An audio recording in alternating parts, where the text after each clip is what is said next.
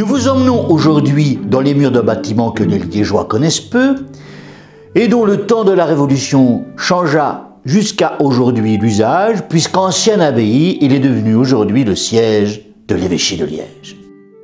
La suppression de la principauté épiscopale en 1795, désormais fondue dans le département de l'Ourthe pour le temps de l'occupation française, fit disparaître, un moment, mais un court moment seulement, la domination des religieux à travers la cité.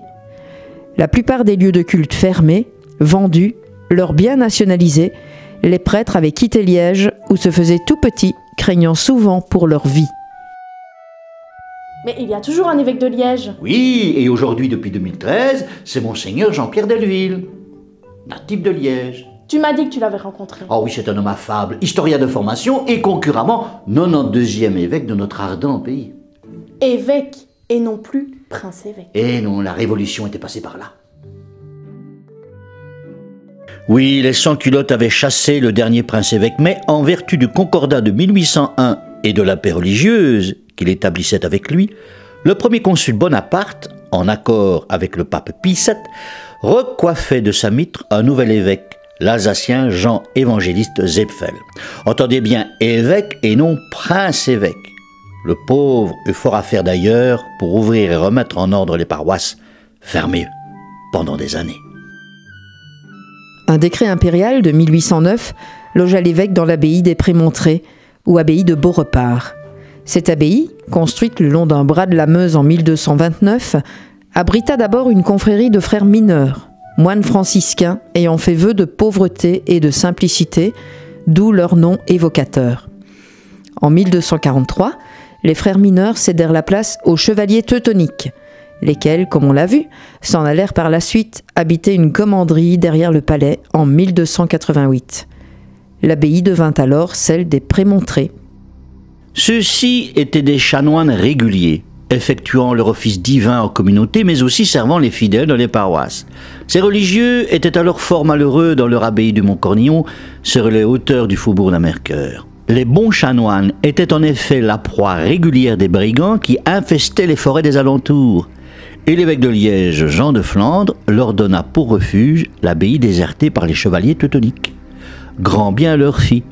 Les moines y prospérèrent pendant cinq siècles, créant et administrant une dizaine de paroisses. Avec la Révolution, l'abbaye fut fermée et s'est bien vendue comme ce fut le cas pour la plupart des institutions religieuses. Et alors elle servit dès lors de dépôt à toutes sortes de marchandises, euh, euh, poudre, euh, arsenal, viande, cuir, jusqu'au moment où elle a été affectée par Napoléon au logement de l'évêque. Et à l'établissement de son séminaire pour former les futurs prêtres. Très juste.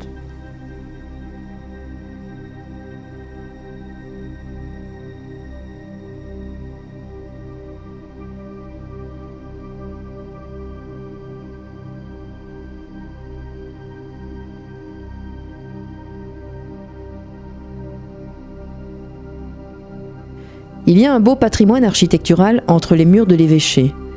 Ainsi, entre 1762 et 1770, l'ancienne église Sainte-Corneille et Cyprien, de style gothique, fut réaménagée.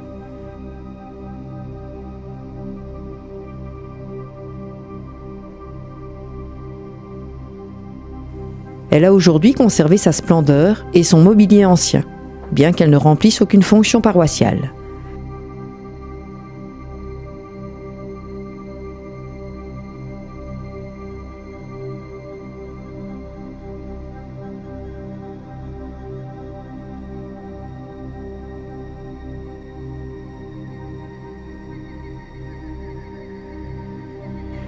Très abîmée par le séisme de 1983, dont nous avions précédemment parlé, elle attend aujourd'hui patiemment un lifting qui permettrait de lui donner un rôle nouveau.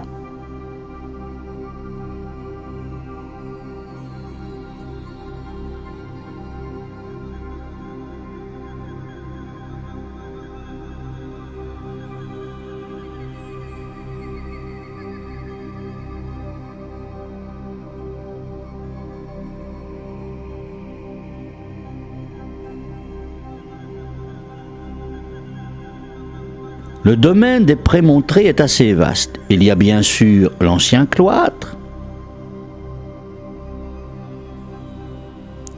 le palais de l'abbé, construction calcaire et brique du XVIe siècle, devenu l'évêché proprement dit.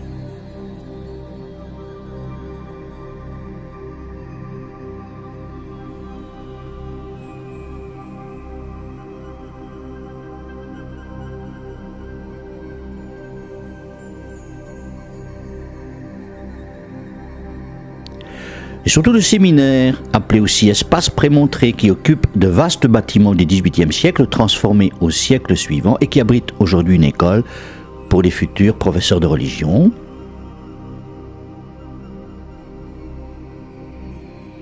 Une librairie et une belle bibliothèque dans laquelle nous avons pu capturer ces rares images, rayons magiques ou sommeil des trésors fort anciens. Des ouvrages tout enluminés euh, avec euh, des lettrines euh, à la feuille d'or. Hein, vous voyez tout ça.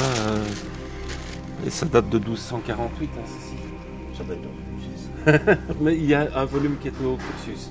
Ah, au cursus Oui. oui. On l'a vu. Vous voyez. Il y a des trésors hein, de fait ici un ouvrage qui a plus de 1000 ans. Tu prends Oui. Oh là là.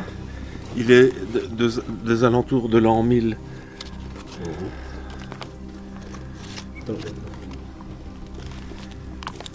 Je suis historien, moi. Et donc, ah voilà.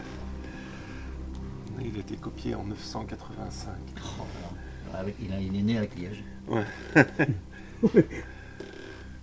Et c'est un quoi, un psautier Sinon, c'est un. Euh, ce sont des œuvres de Saint Augustin. Ah. Regardez, ça c'est la Bible des princes évêques de Liège.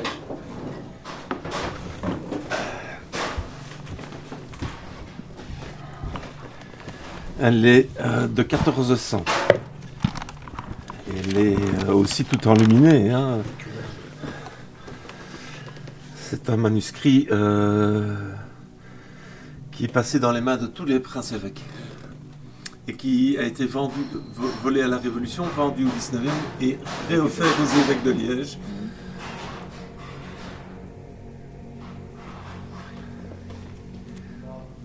Mais voilà donc, hein, ce sont des trésors évidemment.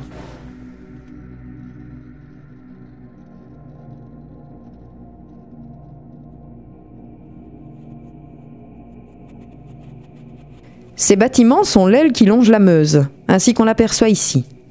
Attention enfin à ne pas confondre le domaine de l'évêché avec les hospices, asiles et orphelinats qui se trouvaient rue du Verbois, grand bâtiment rouge ocre du XVIIIe siècle, récemment rénové et occupé aujourd'hui par le Conseil économique et social de Wallonie.